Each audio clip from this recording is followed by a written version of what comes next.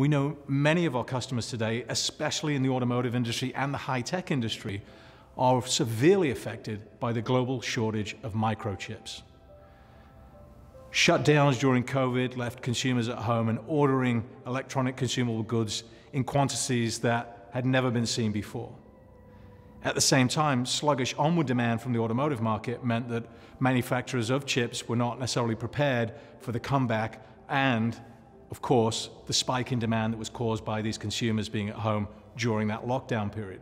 And so you get this double whammy effect, and now there's a shortage globally of those essential components for high-tech goods and today's connected cars.